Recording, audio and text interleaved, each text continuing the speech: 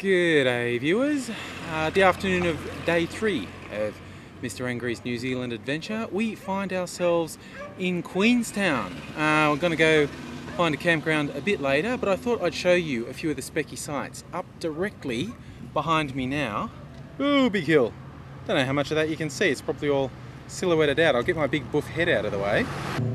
That's ski slopes in winter. The chairlifts are still running but people go parasailing and stuff like that.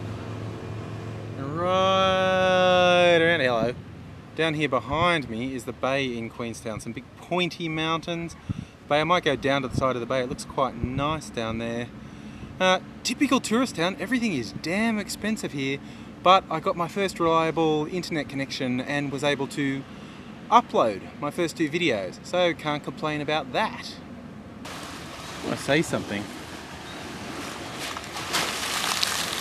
How clean the water is here.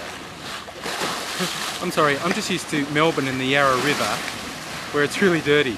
The water everywhere in New Zealand is so amazingly clean. No wonder they're so fanatical about protecting their environment.